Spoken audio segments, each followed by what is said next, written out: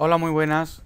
Veamos cómo podemos aplicar un efecto de reflejo a una fotografía, dando así la impresión de que estuviera reflejado en un espejo, justo debajo. Bien, utilizaremos para ello Photoescape.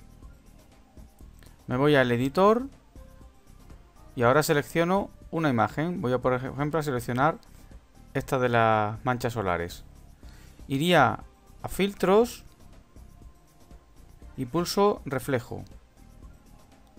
Y ahora yo podré ir manipulando estos parámetros para que pueda ir cambiando según me interese. Más intensidad del color, menos intensidad del color, etcétera. Bien, puedo darle a aceptar, guardar Y fijaos cómo esa fotografía me la he guardado aquí en, en esta carpeta que la tenía yo puesta por defecto. Me ha quedado la foto con el reflejo.